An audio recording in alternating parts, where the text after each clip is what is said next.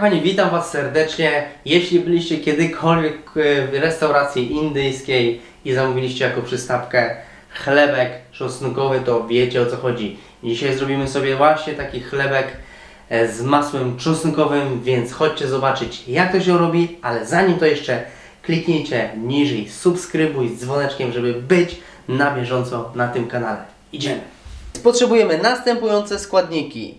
3 łyżki oliwy z oliwek, 250 gramów mąki pszennej, świeża, świeżutka bazylia, woda ciepła, pół litra, ale i tak będziemy ją stopniowo dodawać.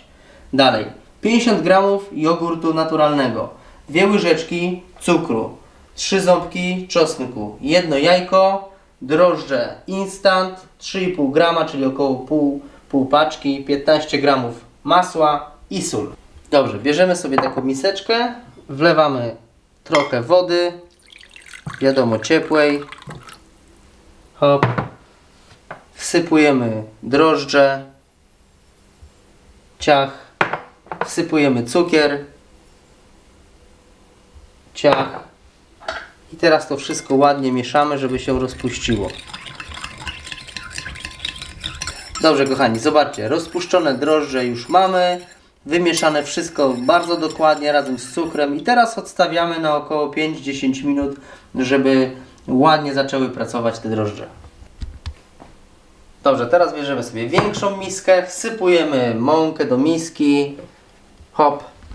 Dobrze, robimy sobie taki dołek w mące w ten sposób na boki i dalej wbijamy sobie jajko wlewamy jogurt naturalny. Oliwę z oliwek. Wlewamy sobie drożdże. Szczypta soli. No i co? Mieszamy teraz wszystko ładnie. I robimy ciasto. Mieszamy dokładnie. Jeżeli ciasto jest mokre, to dosypujemy jeszcze troszeczkę mąki. No i co, słuchajcie, ugniatamy w tej misce na razie hop, żeby dokładnie wyrobić ciasto. Jest fajne, jest takie delikatne i tak jak wspomniałem, jak się jeszcze klei, to dosypać odrobinę a, mąki, żeby odchodziło jednak od y, dłoni, żeby się aż tak nie kleiło. Troszeczkę jeszcze dosypiemy. I dalej oczywiście ugniatamy. Teraz podsypujemy sobie stolnicę jeszcze troszeczkę mąką. Wyciągamy ciasto na stolnicę i jeszcze trochę ugniatamy.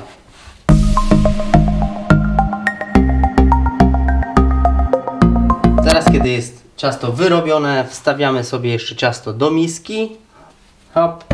I zakrywamy ręcznikiem i odstawiamy na jakieś 30-40 minut w ciepłe miejsce do wyrośnięcia. E, minęło 30 minut, więc wykładamy sobie ciasto. Osypujemy sobie ręce mąką, tak? I robimy taki rulon w ten sposób.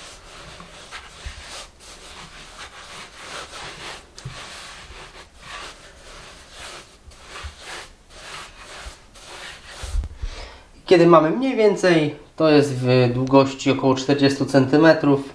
E, kroimy go po prostu na porcję wielkości Waszej największej powiedzmy patelni, e, żebyśmy mogli sobie to później rozwałkować i zrobić taki placek. Więc mniej więcej myślę, że u mnie będzie coś takiego, więc na takie kawałeczki e, to pokroję.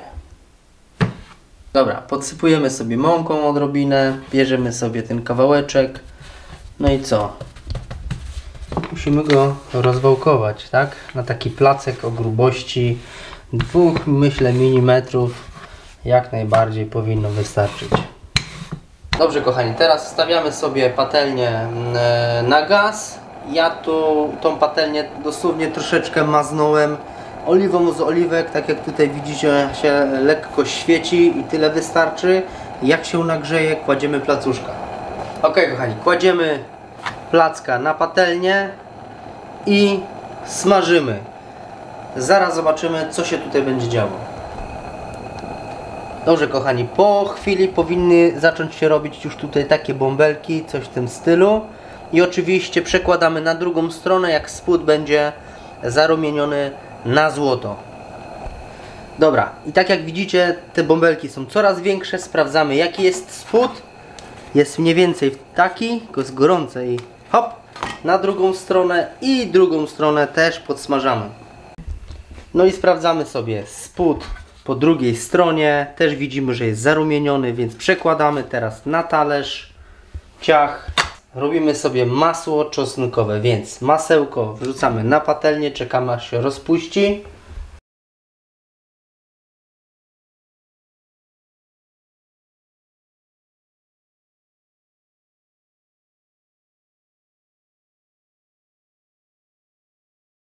Dodajemy jeszcze szczyptę soli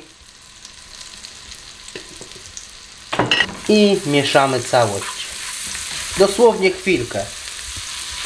To ma się dosłownie chwilkę podsmażyć.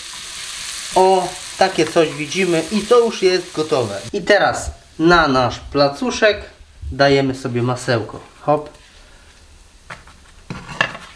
I smarujemy wszędzie.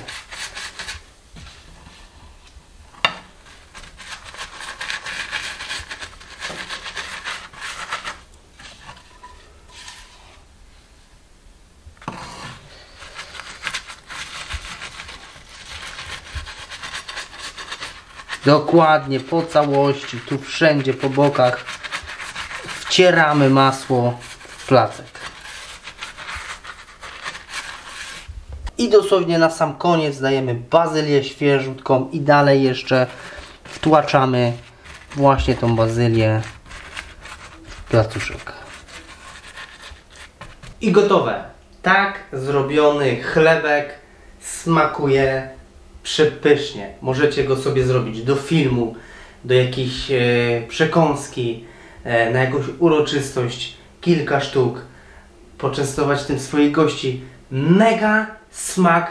Musicie sobie sami zrobić, sami spróbować, bo jest po prostu mega pyszny. Oczywiście zachęcam do tego, żeby właśnie zasubskrybować ten kanał z dzwoneczkiem, żeby być właśnie na bieżąco po takie mega inspiracje, takie przepisy. Także teraz zobaczymy jak to wygląda po rozerwaniu. Chodźcie. I proszę zobaczyć jak to tu wygląda. Mm, masełko, chlebek, ciach. Bierzecie taki kawał elegancko i Mmm! To masło robi taką robotę. W ogóle smak tego ciasta. Petarda. Polecam. Musisz zrobić.